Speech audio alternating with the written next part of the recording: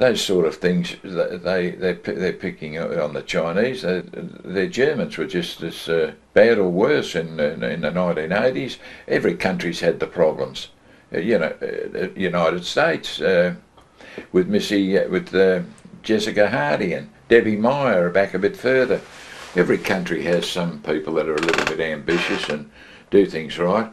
But when the Chinese were down here and when she was down here, and I've had them coming 12 weeks at a time, in and out all the time, and the drug testers were in here all the time. You know, they didn't let up on them, and they don't tell you who they're going to test.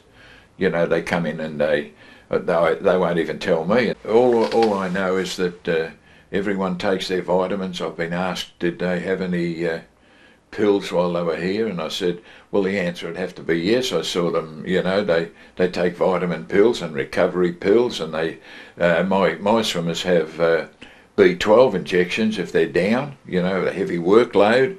They have a vitamin B12, three injections, alternate days. So realistically, you can't uh, you can't point the finger on that. They're they're, they're very fit people, and uh, there, there are just no Chinese women that are overweight until they prove it it's a case of put up or shut up because the girl, one of these swimmers comes along every 15 or 20 years, you know.